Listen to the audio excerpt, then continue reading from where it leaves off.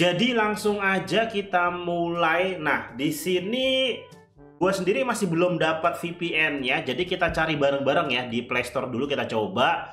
Gue belum ngetes untuk kode redeemnya sambil gue record sambil gue coba. Jadi kita coba bareng-bareng. Let's go. Jadi mari kita sama-sama coba. Pertama-tama kita coba dulu ini di Play Store kita ketik VPN Myanmar.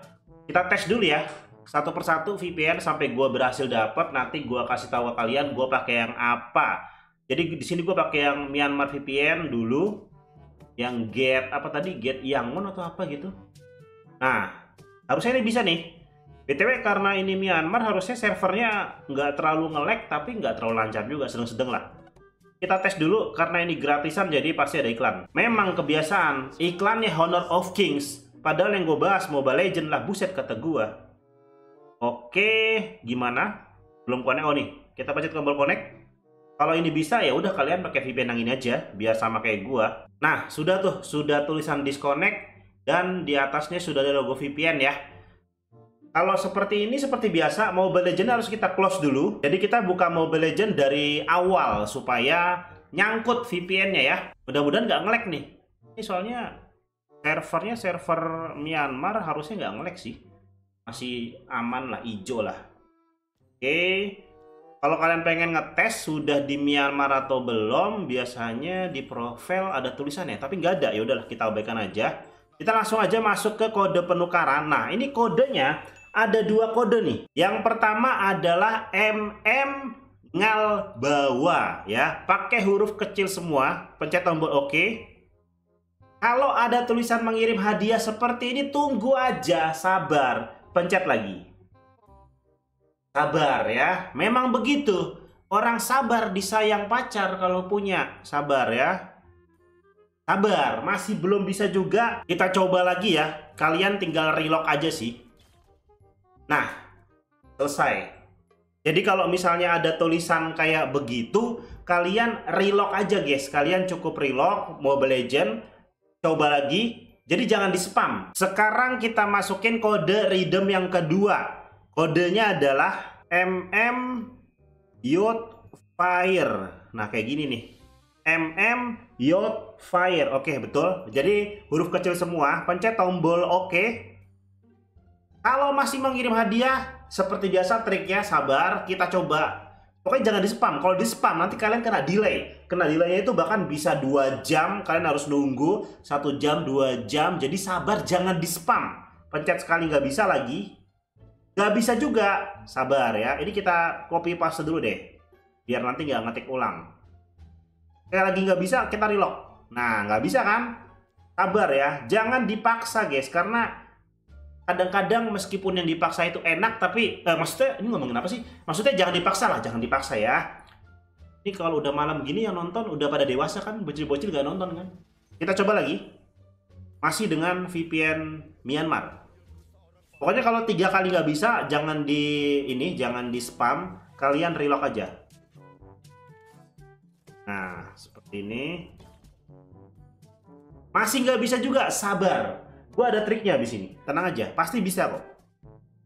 Masih nggak bisa juga? Oh, tenang. Cukup ditungguin sekitar 1 sampai 2 menit ya. Kita coba lagi. Kalau masih nggak bisa juga, ada cara terakhir nih. Baik. Nggak mungkin nggak bisa guys, pasti bisa. Oh, berarti kita harus pakai cara terakhir ya. Ini ini udah gue tungguin satu menit, dua menit nggak bisa kita pakai cara terakhir. Cara terakhirnya gimana bang? Kalian masuk ke webnya Kode Redeem. Linknya gue taruh di deskripsi. Kalau tampilannya kayak gini tinggal dimiringin HP kalian jadi seperti ini.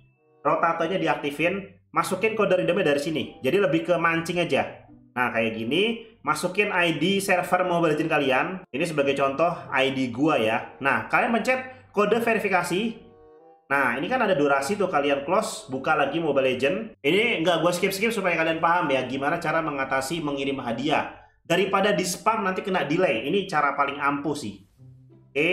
Nah, kalau udah kayak gini kan nanti ada kode tuh di inbox tuh. Kayak masukin kode redeem biasa lah. Nah, ini kan kodenya nanti beda-beda ya. Kalau di gua itu 803 704. Kita masukin di sini 803 704. Pencet tombol redeem nanti ada tulisan already already gitulah. Jadi tulisannya itu ternyata langsung ke sukses redeem tadi kalau misalnya gini, gue jelasin ya. Kalau misalnya ketika kalian pencet tombol redeem ada tulisan already, betul nggak ya?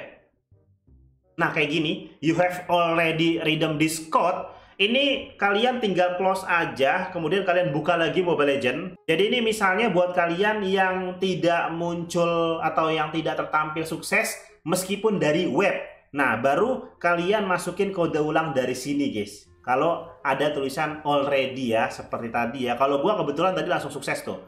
Jadi tinggal masukin lagi dari sini, lebih ke mancing lah.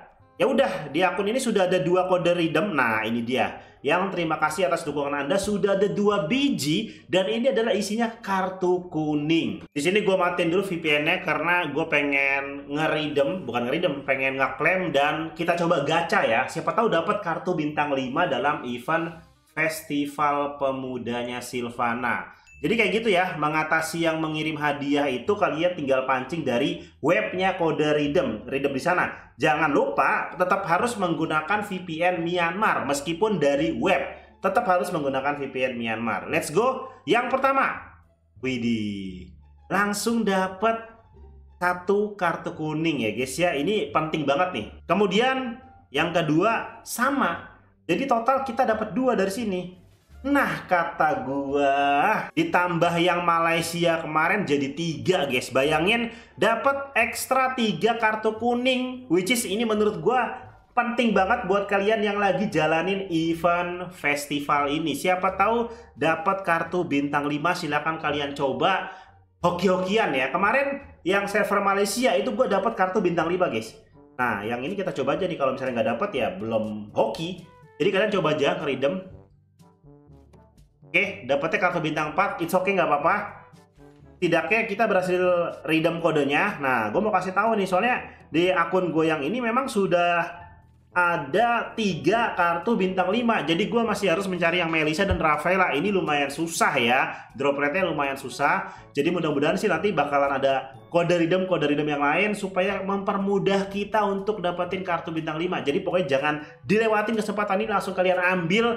Dan seperti biasa tag gue di Instagram. Beberapa nanti akan gue repost. Itu aja kali ya. Semoga video ini bermanfaat buat kalian semua. Jadi thank you yang udah nonton dari sampai akhir kalau kalian suka dengan video ini, jangan lupa. Thank you. Bye. Jangan lupa komen di bawah juga kalian sudah dapat kartu bintang 5 berapa. Di gua sih udah dapat 3 dan kemarin dan kemarin tadi tuh ada yang ngetek gue di Instagram dia dapat 4 guys. Jadi udah dapat yang Melisa, tinggal Rafaela. Jadi bisa dibilang Melisa sama Rafaela ini adalah raja terakhir nih karena susah banget buat dapetinnya. Tapi tenang aja karena eventnya masih lama dan mudah-mudahan sih stoknya masih banyak Buat yang nanya, Bang itu apa Bang? Maksudnya kartu tersisa 88%. Ya memang terbatas, maksudnya kayak di limit sama Muntun, tapi mudah-mudahan terbatasnya ini tetap dalam jumlah yang banyak ya. Jadi artinya masih ada 88% seluruh dunia untuk jumlah keseluruhan kartunya. Dan gue nggak tahu ini dalam jumlahnya berapa, tapi lebih ke persentase ya, kayak gitu sih.